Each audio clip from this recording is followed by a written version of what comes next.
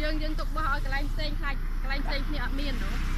ខ្លាចបានតែកន្លែងមានអ្នកលក់មែនទេលោកគ្រូចាតែកូនឡើងឡើងឡើងឡើងមកបានហើយមាននេះដូចសុំខ្លាចដល់ខាងមែនទេ